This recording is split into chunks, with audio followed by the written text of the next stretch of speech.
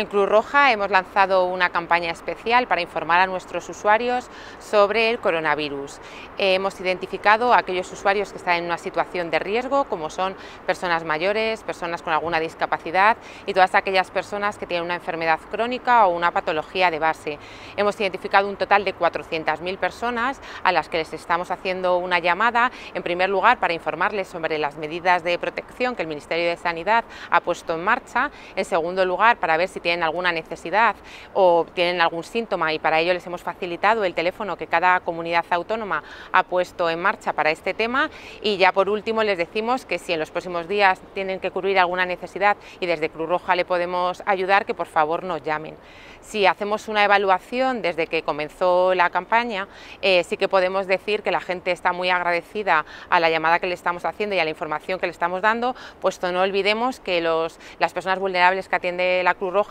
a veces no cuentan ni con canales de comunicación ni con acceso a plataformas digitales.